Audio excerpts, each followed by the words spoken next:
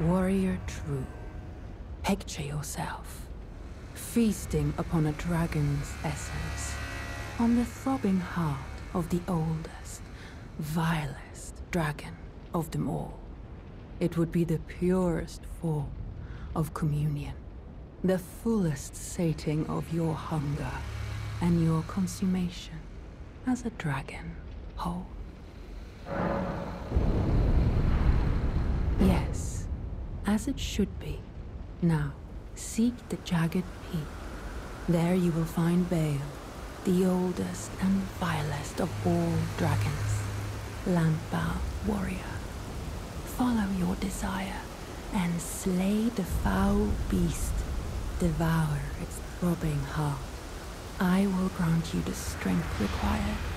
In the name of my lord, Placidusax.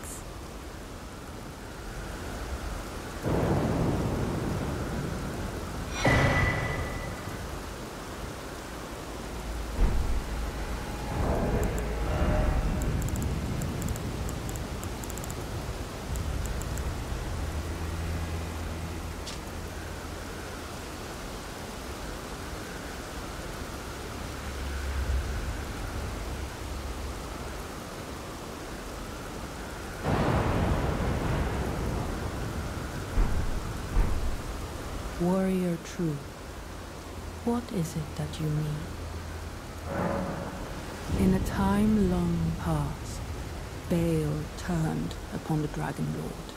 The foul traitor assailed our master and inflicted a grievous wound, only to make a hasty retreat, becoming a sworn enemy of the brood.